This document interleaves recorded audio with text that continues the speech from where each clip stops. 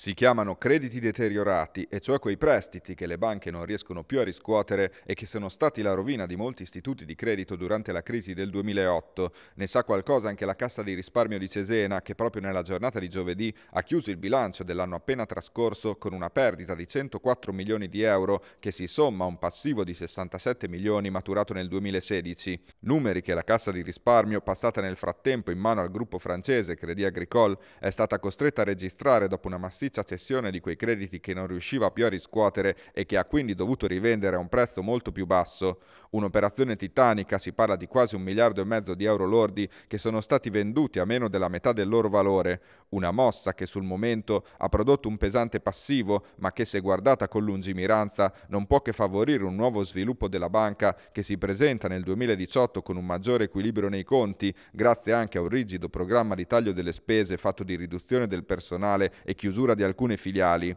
un aspetto che è stato sicuramente gradito agli azionisti che nel corso dell'assemblea di giovedì hanno approvato il bilancio quasi all'unanimità. Anche qui però i numeri vanno letti in controluce perché il voto non viene conteggiato sulla base delle singole persone ma di quante azioni posseggono e quindi Credit Agricole che ha in mano il 95% del capitale sociale può far valere la propria voce contro tutto e contro tutti. Nonostante questo non sono mancate le proteste, si parla soprattutto di piccoli azionisti della vecchia gestione che da qui a un mese saranno chiamati a rispondere dell'offerta di pubblico acquisto fatta dai francesi, ritenuta da molti troppo bassa. Da questo punto di vista è arrivata sul palco la replica del presidente del CDA Giancarlo Forestieri che ha fatto notare come in molti altri casi simili, vedasi intesa San Paolo, ai vecchi azionisti non è stato corrisposto nessun risarcimento.